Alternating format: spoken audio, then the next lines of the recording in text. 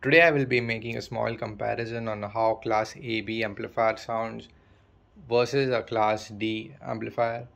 The class D amplifier over here I will be using is a Crown XLS 2002. This is the most popular Crown and a class D amplifier which is used by many people at uh, at home this is also used as a power amplifier for events and so on this is very powerful. Around 375 watts per channel at 8 ohms.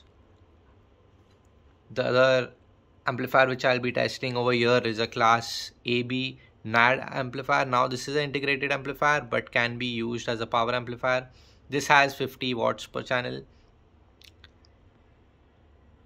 the source for uh, the musics will be the Raspberry Pi. Over here I'll be using royalty free music.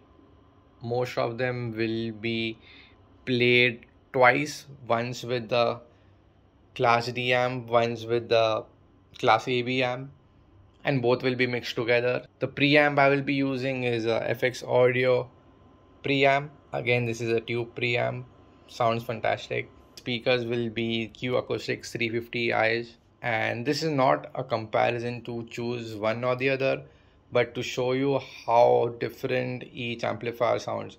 Now I don't know how this will sound on the YouTube video but if you hear them in live there will be a substantial difference in terms of how both sound.